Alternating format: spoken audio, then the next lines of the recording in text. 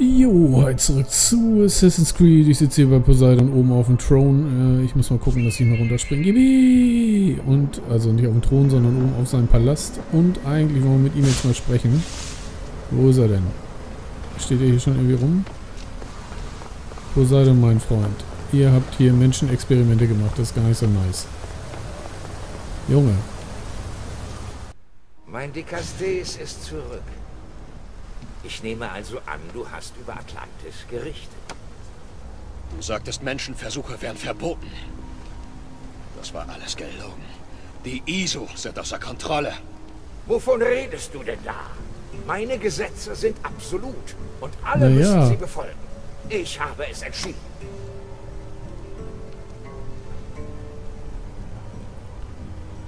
Deine Gesetze waren nutzlos. Menschen leiden unter deiner Herrschaft. Und du bemerkst es nicht einmal. Niemand würde es wagen, sich mir zu widersetzen. Das ist sicher ein Missverständnis. Naja, ich Du glaube nicht. solltest besser auf ihn hören. Juno. Unmöglich. Der Zutritt zur Stadt ist dir verwehrt. Wachen!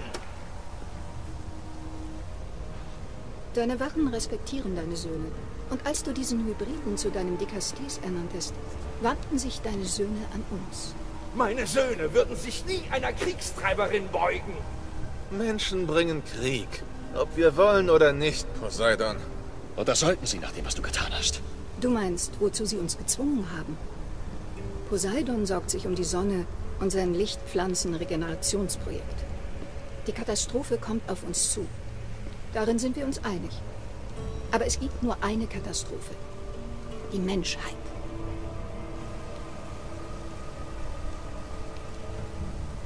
Du kannst Ethan nicht vertrauen. Er ist verrückt. Du weißt nicht, was für Monster er in seinem Geheimversteck hält.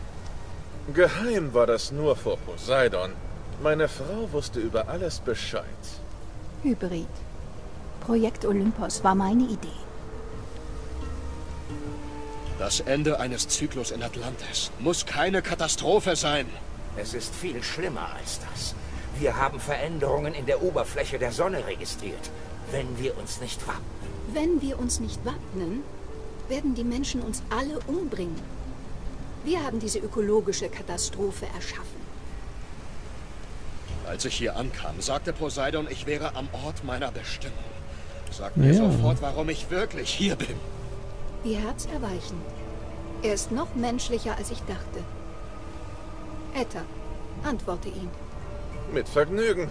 Stell dir vor, was für Möglichkeiten es eröffnen würde, wenn wir deine hybride Form duplizieren könnten. Wir könnten mit unserer Technologie deine Gedanken kontrollieren. Du kannst zur Herstellung von Junos ultimativer Waffe verwendet werden. Oder vielmehr hättest du das. Das Experiment meines Mannes war vielversprechend. Aber nach langer Beobachtung haben wir dich zum Fehlschlag erklärt. Unsere neue Waffe okay. ist sehr viel tödlicher, als du es je sein könntest. Die Hekatoncherin. Eta, du hast doch nicht... Oh doch. Die Hekatoncheren werden sich erheben. Projekt Olympos wird die Menschheit so sehr verängstigen, dass sie es nie mehr wagen wird, sich aufzulehnen. Und du wirst meinen Ehemann zum Dikastes Basileus ernennen. Die Castes, setze dem ein Ende. Wenn sie es schaffen, sind wir verloren.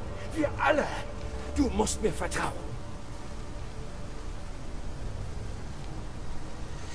Hm, ich bin keine Waffe, naja. Du Okay. kümmerst dich um diese beiden. Ich vereitle ihren Plan. Ah, das hat ja schon mal nicht so gut geklappt.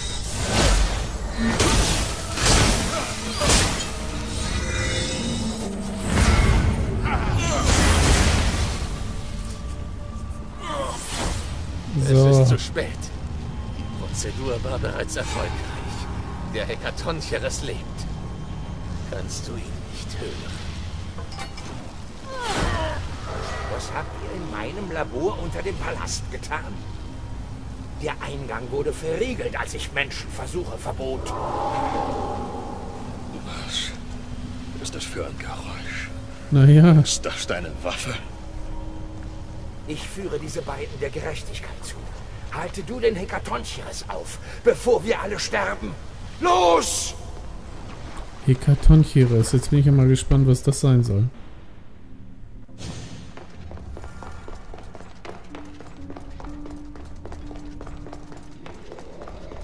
Wow, lauter Leichen. Hallo, jemand zu Hause?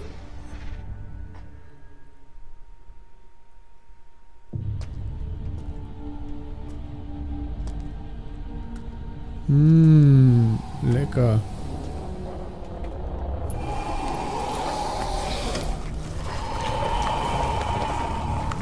Hm, ein bisschen viele Arme.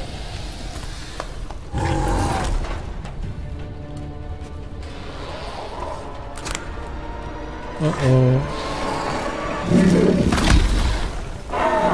Okay.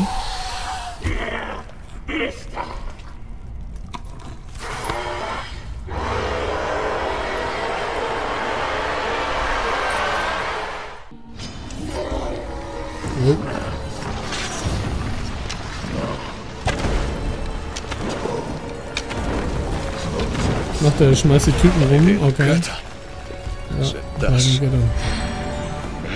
Ist das ekelhaft. Diese Schergen stammen aus Evas Experiment. Man sollte nicht zu nah. Okay, nicht zu nah ran an die Typen, ne? Weil die dann explodieren. Okay. Er schmeißt die Viecher.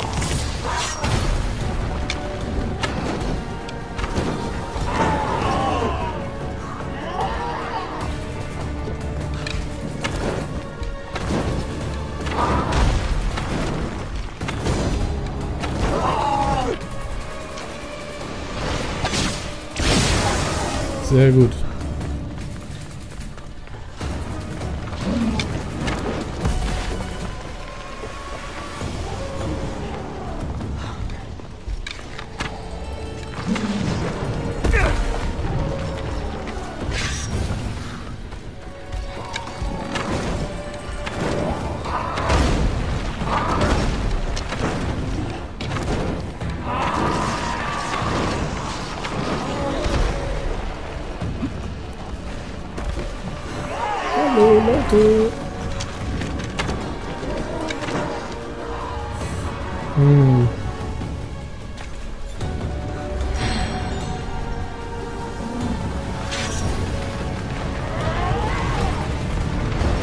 Okay, der hängt oben an der Decke. Mhm.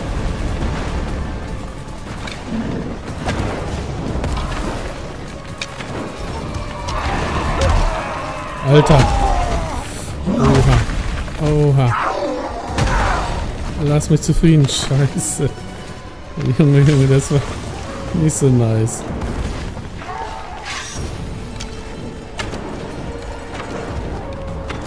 Also nicht erwischen lassen von ihm.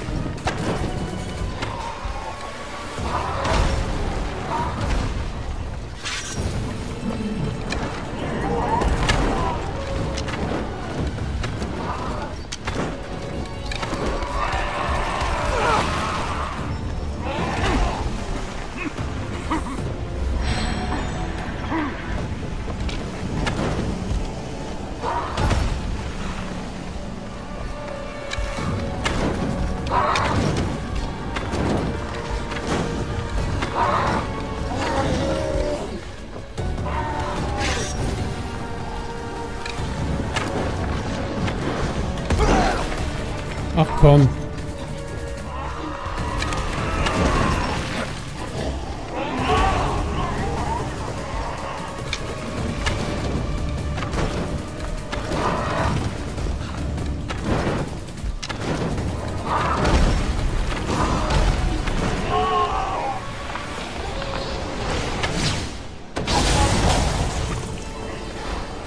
Thank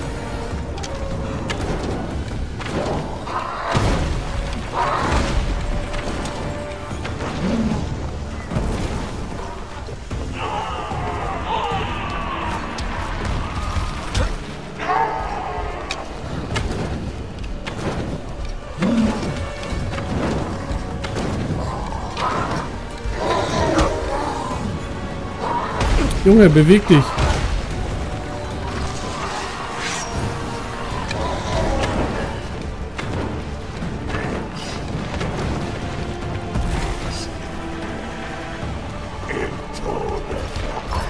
Der Einzige, der stirbt. Hoffentlich.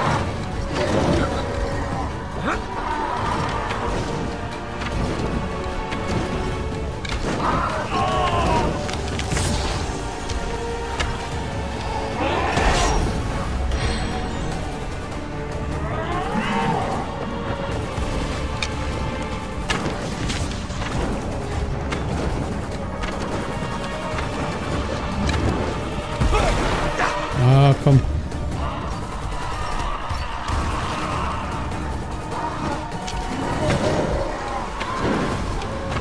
Hälfte haben wir. Ah, shit.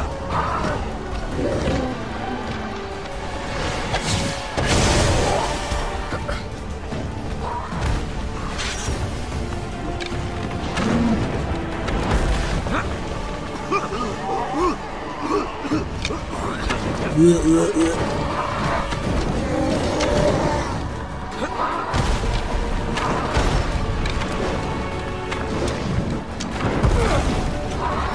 komm.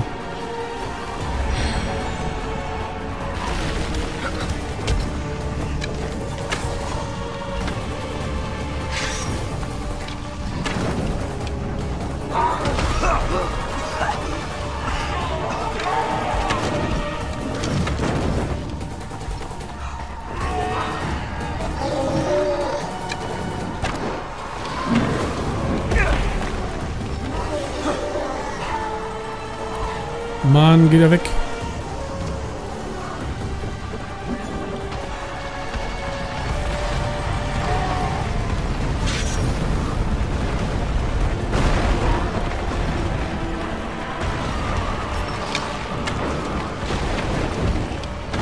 Jetzt wird er sauer.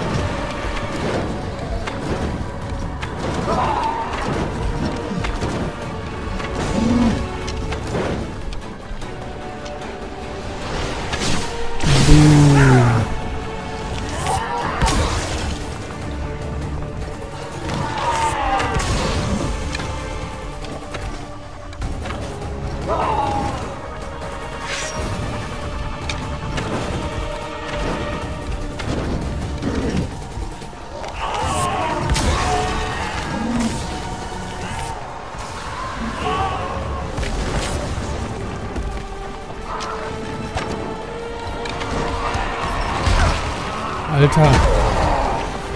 No, no, no, no, no. Oh Mann.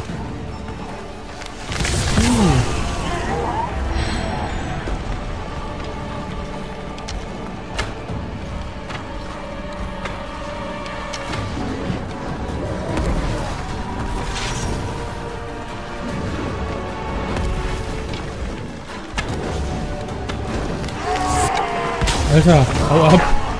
Ihr hässlichen. Ach Mann, Hustel, Hustel. Komm schon.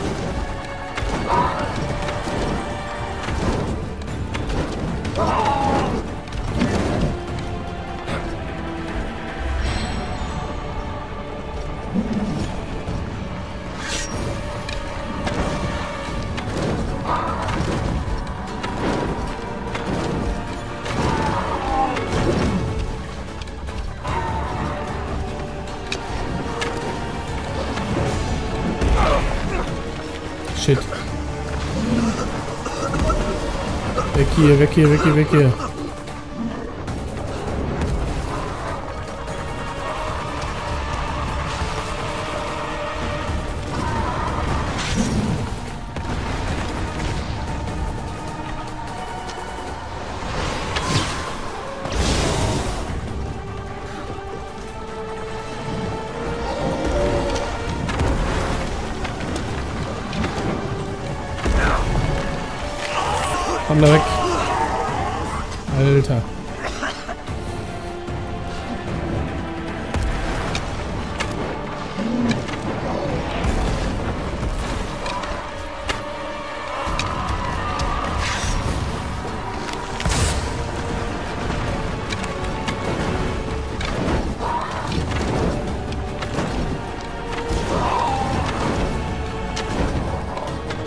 Irgendwann ist doch mal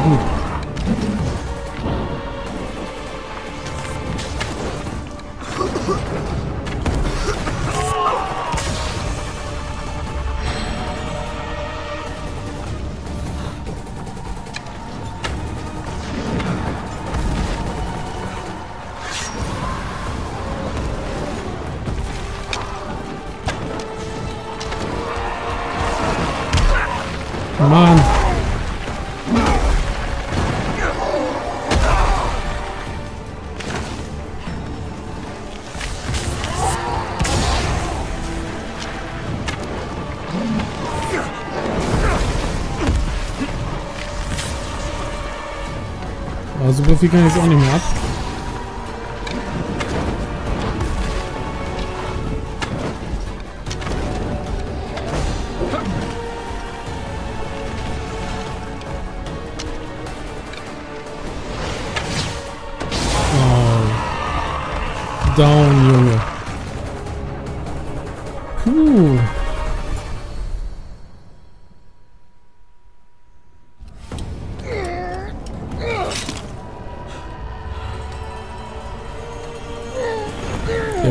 Hässlich.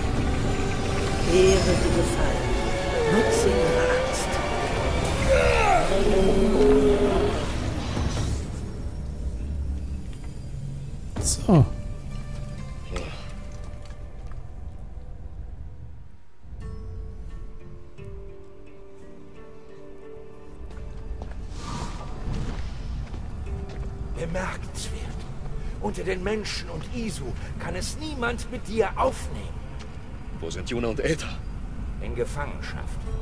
Aber sie werden nicht aufhören.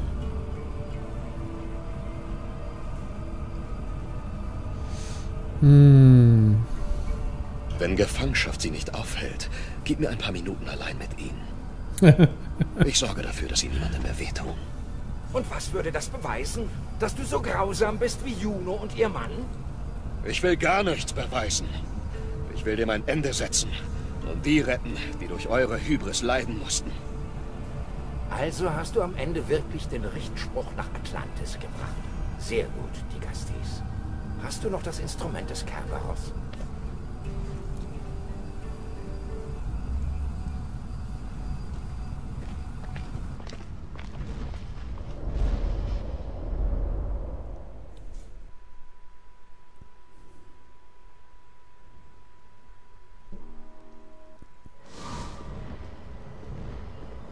Ich habe dir nicht alles über deinen Stab erzählt. Er bildet die Brücke zwischen deinen beiden Identitäten.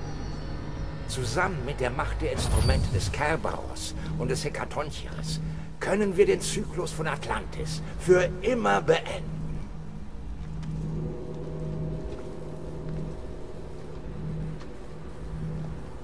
Ich habe nicht nur einen sechsten Sinn entdeckt, sondern auch die Macht zur Zerstörung der ganzen Stadt. Den falschen Händen hat dieser Stab die Macht, alles zu zerstören. Deswegen bist du und nur du sein Hüter.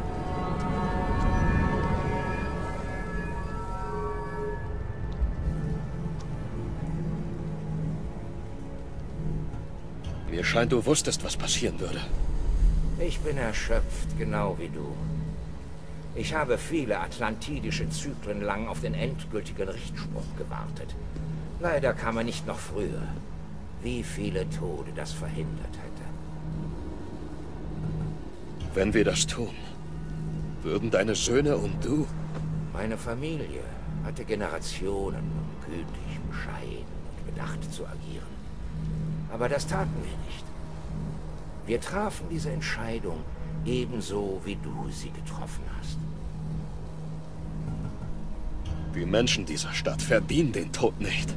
Wenn wir uns dafür entscheiden, werden die Sirenen heulen und die Tiere freigelassen. Die Menschen im Porimusring steigen in ihre Boote. Ich versichere dir, sie entkommen ganz sicher noch. Wenn wir die Stadt versenken, dann werde ich mit dir untergehen. Nein, du bist der Hüter des Stabes. Er wird dich beschützen. Deine Zeit ist leider noch nicht gekommen. Okay, leider. Na gut. Du hast es selbst gesagt. Juno und Eta werden niemals aufhören. Ich habe die Labore gesehen und ihre Experimente. Es gibt nur einen Weg, um dem Leiden ein Ende zu setzen. Durch Zerstörung.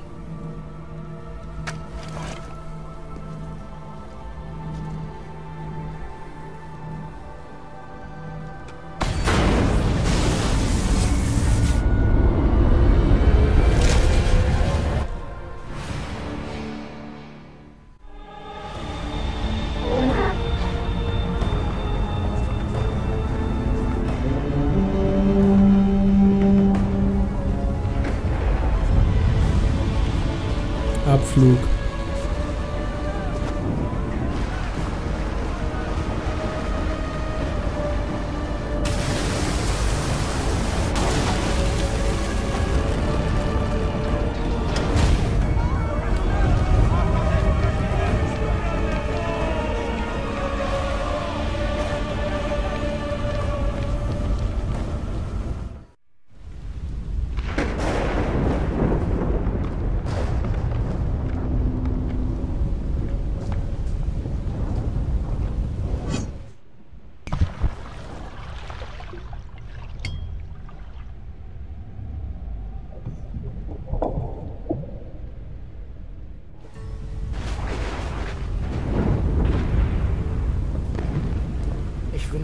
Ich hätte mehr Zeit gehabt, von dir zu lernen. Vielleicht hätte mich das menschlicher gemacht. Ich höre, Poseidon.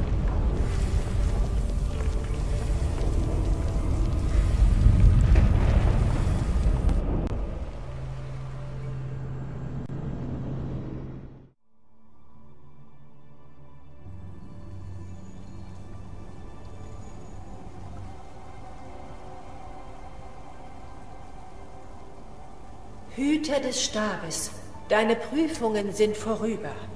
Wir sind wieder im Thronsaal. Sag mir, nun da du das Schicksal von Atlantis gesehen hast, wie fühlst du dich?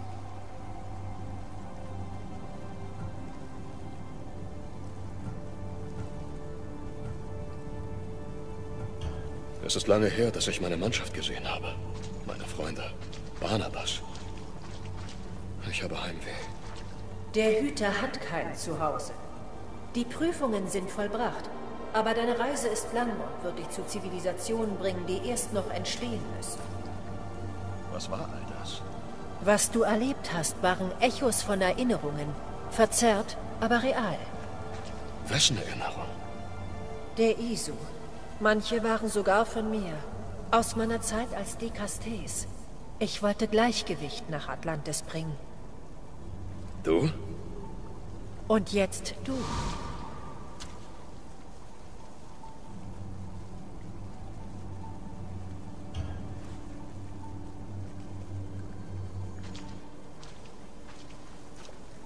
Meine Prüfungen brachten mich wieder zu meinem Großvater. Phoebe, Brasidas und selbst Elpeno. Und dadurch hast du eine wertvolle Lektion gelernt. Der Stab kann Leben verlängern. Aber das ist nicht deine Rolle. Du musst lernen, dich immer und immer wieder zu verabschieden und den Tod alles, was er fordert, von dieser Welt nehmen zu lassen. Waren sie real? Sie sind ein Teil von dir, also ja. Irgendwann wirst du sie verabschieden, aber das ist eine andere Prüfung. Meine Prüfungen im Elysium brachten Zerstörung und Aufruhr. Nicht deinetwegen, sondern wegen Persephone.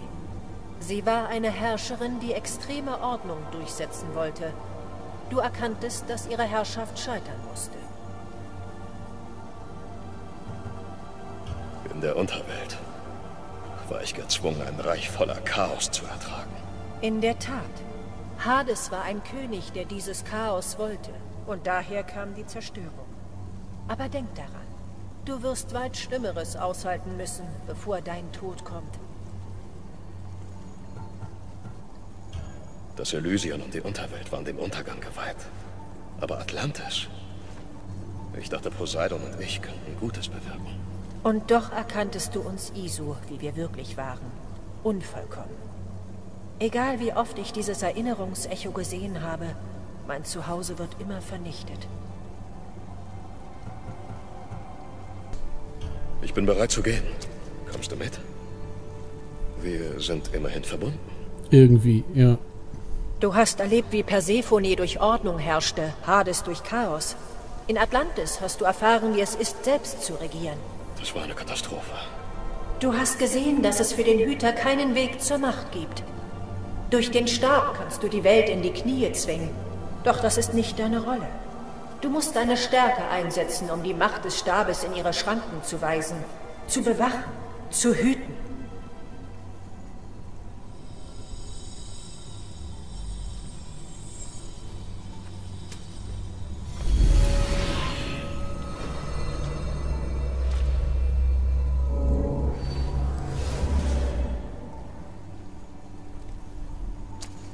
Meine Martha sagte mir einst, ich sei von den Göttern gesandt worden, um die Welt zu beschützen. Ich gab ihm mein Wort. Und jetzt gebe ich es dir.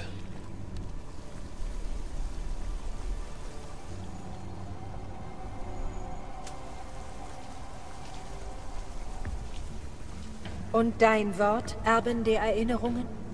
Du musst aufwachen und Wiedergutmachung leisten, bevor es zu spät ist. Sonst wirst du diese Welt in Stücke reißen. Erwache nun. Der Eindringling hat dich gefunden. Wach auf. Schnell.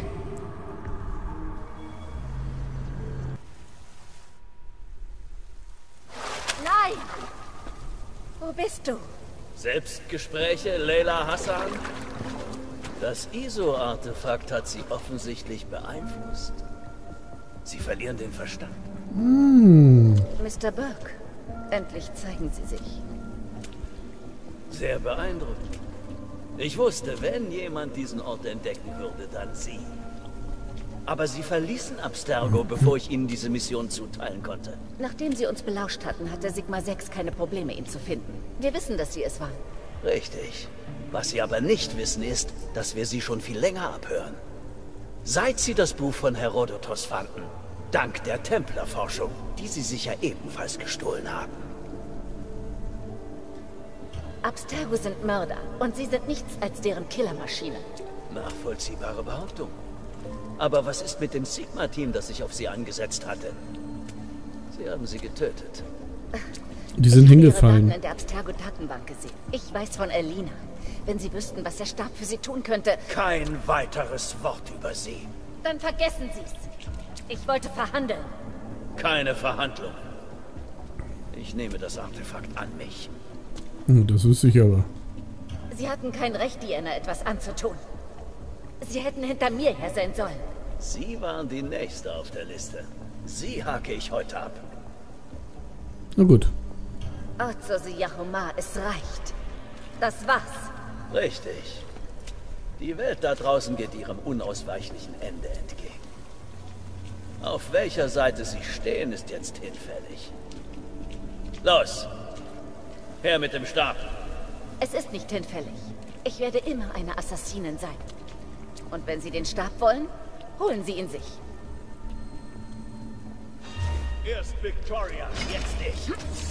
Geben Sie es zu, Sie haben das Artefakt nicht unter Kontrolle.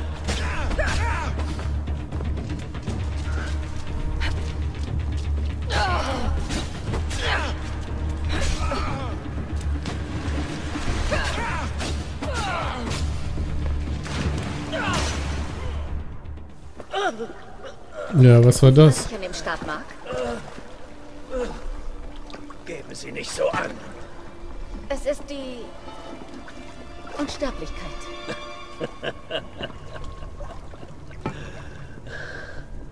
Armselig bis zum Schluss.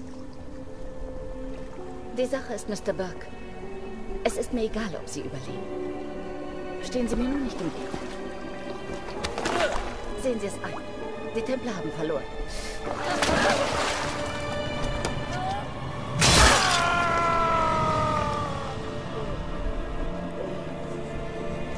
User kaputt.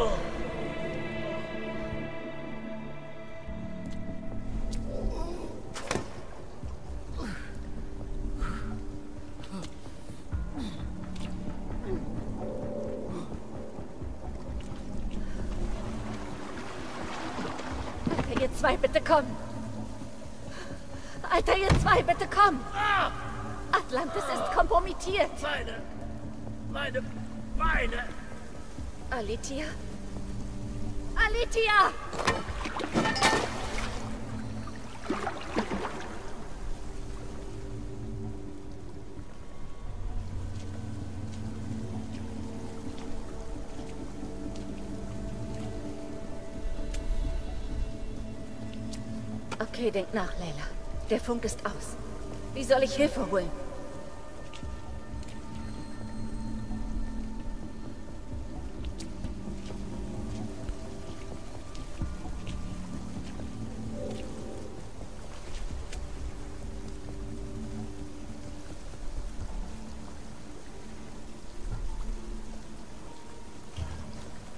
Weg.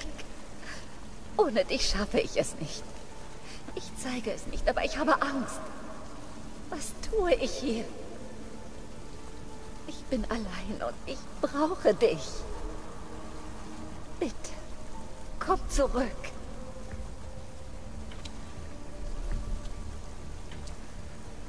Gib mir wenigstens ein Zeichen. Irgendwas.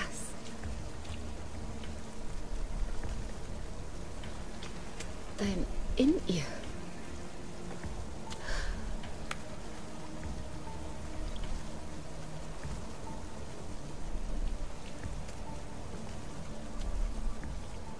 Kann mich jemand hören? Victoria, wir versuchen die ganze Zeit die Kommunikation wiederherzustellen. Erst waren alle Lebenszeichen weg und dann... Elena. Ich bin es. Leila? Aber das ist Victorias Kanal. Wo ist sie denn? Was ist los bei euch? Habt ihr die Prüfungen überstanden? Ja, wir haben den Stab. Ich habe die Prüfungen bestanden, aber... Unglaublich! Ein echtes ISO-Artefakt unter Assassinenkontrolle. Das verändert alles. Ich habe es nicht unter Kontrolle und es verändert nichts. Der Eindringling ist Otto Burke. Er ist mit mir im Thronsaal. Ich kann alles erklären. Aber die Templer sind hinter uns her. Du musst mich hier rausholen. Er ist bei dir? Alles in Ordnung? Wir haben gekämpft. Er ist ohnmächtig, aber stabil. Aber bitte, ich will nicht nach ihm sehen. Du hast ihn nicht getötet. Nein. Er lebt noch. Bleib, wo du bist, Layla. Wir holen dich raus, aber das dauert ein bisschen. Was hast du jetzt vor? Bis ihr hier seid, gehe ich zurück in den Animus. Es gibt viele, von denen ich mich verabschieden muss.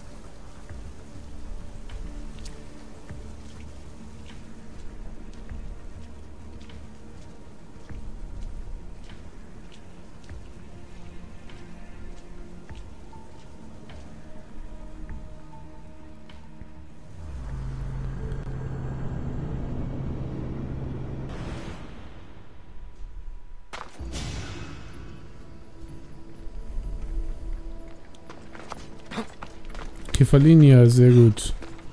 Nice.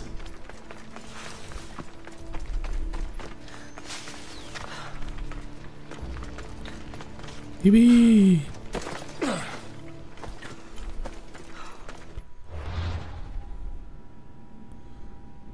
Okay, Falenia. Ich glaube, ich kann jetzt einfach alles machen, was ich lustig bin. Und weiter zocken, oder was? Alter. Ich habe noch ein bisschen was. Ja, vielleicht mache ich das irgendwann mal. 68, 70. Junge, wollt ihr mich verarschen? Alter. Naja, vielleicht habe ich das auch noch nicht gemacht. Also hätte ich vorher auch machen können. Aber ich sag's mal so, ey, Ubisoft, ihr seid echt mega, ey. Wie viel Zeug ihr hier in das Ding reinpresst. Wahnsinn. Content ohne Ende. Na gut, also, ich sag's mal so. Äh, das könnte jetzt erstmal reichen für diese Session, weil äh, noch ein Monster gekillt, Atlantis downgraded. Und jetzt noch irgendwie anderes Zeug hier machen. Äh, das wird, glaube ich, ein bisschen viel. Haut ab, ihr Wölfchen. Ich habe keine Zeit für euch. Ich reite lieber weg. Haut ab. Oh, Ferdinand, komm. So, und los, genau. So, also, mehr gibt's beim nächsten Mal. Ich hau ab. Bis dann. Ciao.